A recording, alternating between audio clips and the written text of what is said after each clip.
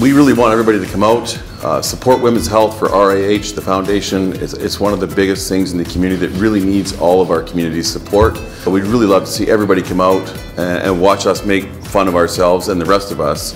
And the one thing I know is Kamloops always pulls through.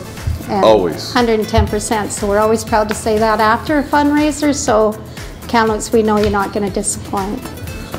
Let's do this. Let's raise some money for a great cause. High five.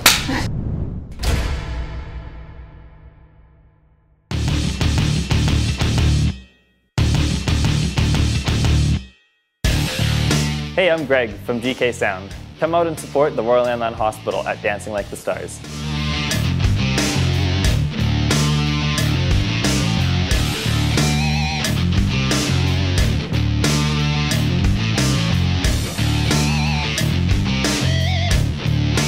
Come check out the amazing light show at Dancing Like the Stars.